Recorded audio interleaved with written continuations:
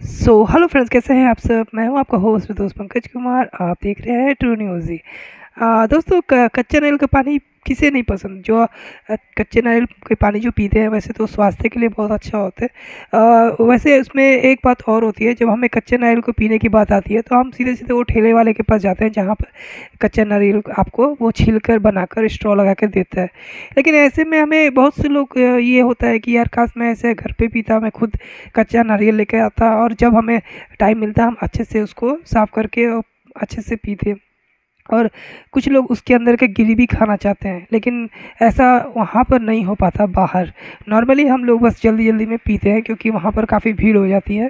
तो ऐसे में आपके पास अगर आप कच्चा नारियल घर पर ले भी आते हैं तो आप उसे उस तरीके से काट कर उसका पानी नहीं निकाल पाएँगे, जैसे वो ठेले वाला करता है, क्योंकि उसके पास बहुत बड़ा औज़ार होता है उसे काटने के लिए। हमारे पास नहीं है, लेकिन हमारे पास एक टूल है अमेज़ोन पे मिल रहा है। बहुत ही ईजिली आप इसको कच्चे नारियल को उस, उसमें लगाकर अपना पानी फ्रेश निकाल सकते हो, बिना बिना किसी परेशानी के।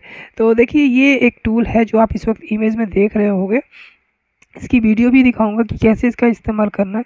बस सिंपली आपको इसको नारियल में इसको इस तरीके से लगाने के बाद इसको घुमाते जाना रोटेट करते जाना, और धीमे धीमे ये जो है, आप देख सकते हो, ये देखिए। जब आप इसको इस तरह से डालोगे तो इस तरीके से इसमें आप होल का होल का शेप ले लेगा, इस तरीके से अंदर चला जाएगा। और फिर ये इस तरीके से ना, ना उस नारियल के अंदर का कुछ पार्ट लेकर बाहर निकल आएगा।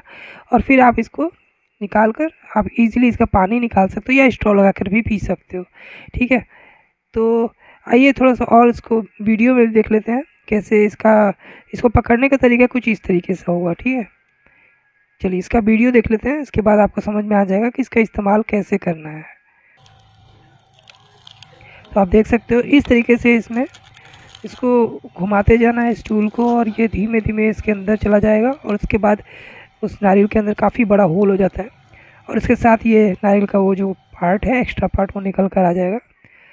और फिर आप इसे स्ट्रो लगा कर पी सकते हो, जैसे इस इमेज में आपने देखा होगा। मैं आपको फिर से दिखा देता हूँ इस तरीके का।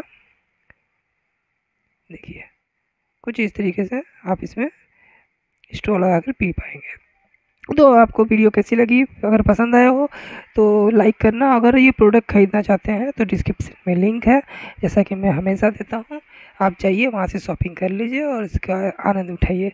और कमेंट में ज़रूर बताइएगा ये प्रोडक्ट आपको कैसा लगा। मिलते हैं नेक्स्ट वीडियो में किसी और नए प्रोडक्ट के साथ। तब तक अपना ख्याल रखें। Take care bye bye